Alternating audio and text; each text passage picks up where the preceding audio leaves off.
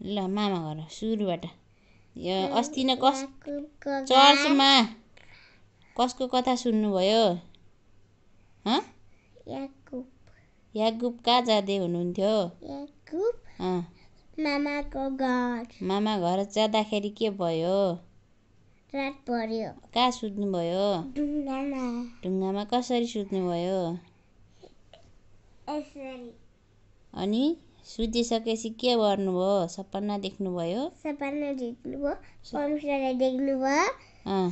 अनि? भर्याङमा जानुभयो। तलमाथि गर्नुभएको थियो। स्वर्गदूतहरूले धन्यवाद। धन्यवाद।